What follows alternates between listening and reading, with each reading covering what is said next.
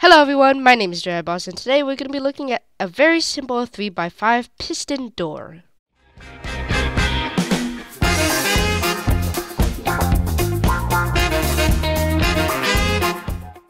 Now if you're wondering why I have two designs for the 3x5 piston door, it is because one is simpler and one is faster. So this one, the simpler one, just uses a redstone torch tower to bring the signal from the bottom up to the top. This one, however, uses a stone slab tower to bring the signal to the top, so it doesn't have any delays with the redstone torches. So, if you couldn't tell how it works already, I'll show you now. First, if you pull this lever, all this redstone gets fired, and all these redstone repeaters get fired. These first five redstone repeaters activate these first five pistons, and these pistons push the blocks up one space. Then this repeater unpowers this redstone torch, which powers this redstone torch, unpowers this one, and powers this one, which powers this redstone line, powering this double piston extender, and that extends the blocks from here down to here. So if you want to see an action, here it is. And there we go. This one, however, is much faster because it has the stone slab tower. So if you want to see how this one is, is like this.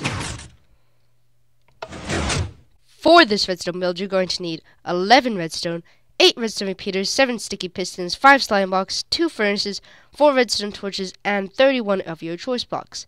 If you want to build the faster version, you're going to need 17 redstone, 8 redstone repeaters, 7 sticky pistons, 5 slime blocks, 2 furnaces, 4 stone slabs, and 29 blocks of quartz. You're also going to need a lever to test your creation out. You are also going to need a 5 by 7 blocks spacing to build your 3 by 5 piston door. This red line is where your piston door will actually be going, and you also need to dig one, two, three blocks down to place all of your redstone if you want to be flush with the floor.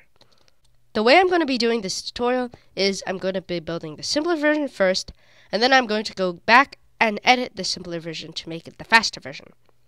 So, let's jump right into it.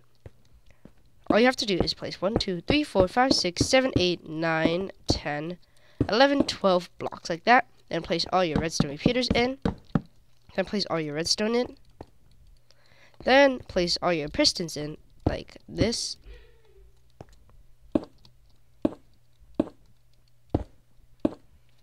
Then place all your blocks on top of that. Place a block next to this piston. Place a block up there. Torch. And then place five blocks up like that. Then take out, oops, then take out these two blocks right here.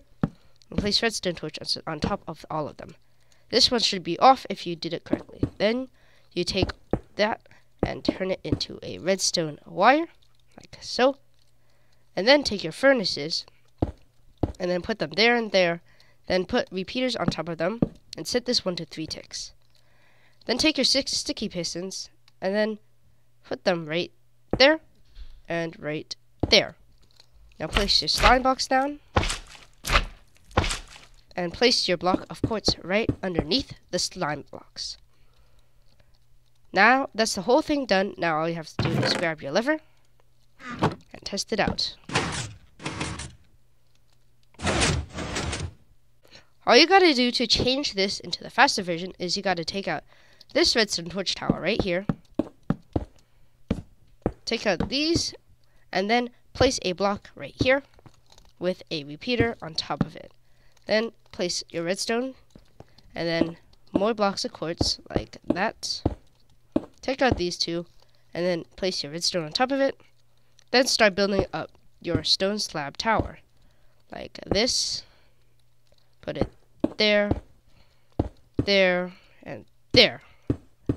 Now, all you have to do is place redstone on top of your stone slab tower, and it should be done.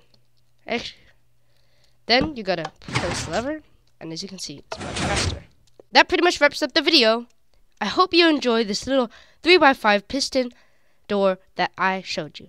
I know that this is not the most compact or the most efficient redstone door, but it is meant to be the beginner's version So beginners that are just starting to learn redstone can build this door.